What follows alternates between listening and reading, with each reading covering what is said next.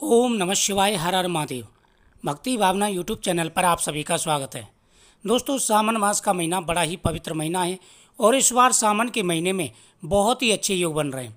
सावन के महीने में तीन चीज़ें आपको खानी है। कौन कौन सी वह तीन चीज़ें हैं, उसके बारे में जानकारी दूँगा और साथ ही भाग्यशाली राशियों के बारे में जानकारी दूँगा। सावन मास का महीना बड़ा ही पवित्र महीना है और भगवान शिव का प्रिय महीना है। भगवान से प्रसन्न होकर के अपने भक्तों की मनोकामना पूरी करते हैं। सावन मास के महीने में भगवान शिव की प्रिय चीज़ भगवान शिव को समर्पित की जाती हैं। भोलेनाथ प्रसन्न होकर के अपने भक्तों की मनोकामना पूरी करते हैं।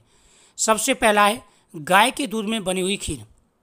गाय के दूध में खीर बना करके और गाय का घी उसमें डाल करके भगवान शिव को भोग लगाना है।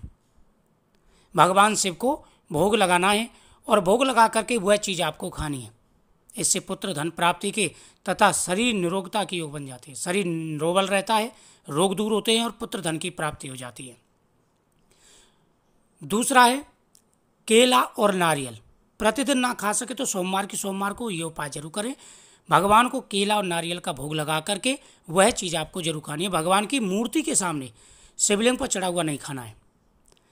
शिवलिंग पर आपको बेलपत्र, चावल, गेहूँ, धतूरे का फल धतूरे का पुष्प, भगवान शिव को समर्पित करें इससे पुत्र धन प्राप्ति के योग बनते हैं। भगवान के सामने दीपक ज़रूर जलाएँ। जब भी अमावस्या आए, हरियाली अमावस्या आए तो पितरों की पूजा ज़रूर करें। तीसरा है, भगवान के सामने बेलपत्र चढ़ाएँ। 108 बार ओम नमः शिवाय बोले और पुत्र की इच्छा बोल करके या शरीर में कोई रोग है, आपके प्रत्येक कार्य में रुकावट आती है तो ये पत्र ज़रूर खा लें, बेलपत्र। इससे मनोकामना बहुत जल्दी पूरी हो जाती है।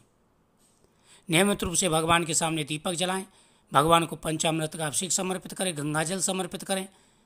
भगवान को गन्ने का रस, अनार का रस, जितना ज़्यादा हो सके भगवान को वह चीज़ें समर्पित करें, इससे भोलेनाथ प्रसन्न होंगे।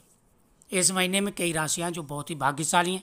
मेष राशि, वृषभ राशि, कर्क राशि, सिंह राशि, कन्या राशि, तुला राशि, धनु राशि कुंभ राशि और मीन राशि। ये नौ राशियाँ हैं जो इस सावन के महीने में बहुत ही ज़्यादा भाग्यशाली रहने वाली हैं। सावन के महीने में नंदी जी के कान में अपनी इच्छा ज़रूर बोले। भगवान शिव से अपनी प्रार्थना करें। इससे भगवान आपकी हर मनोकामना पूरी करेंगे। महिलाएँ, सोमवार का व्रत रखें, मंगला गौरी व्रत रखें, माता पार्वती की पूजा करें, श्रृंगार माता के सामने समर्पित करें, इससे आपकी मनोकामना पूरी होगी। तो बहुत ही अच्छे योग बने हुए हैं।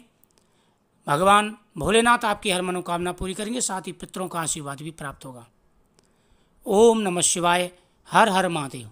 वीडियो को ज़्यादा से ज़्यादा शेयर करें, चैनल को सब्सक्राइब करना ना भूलें।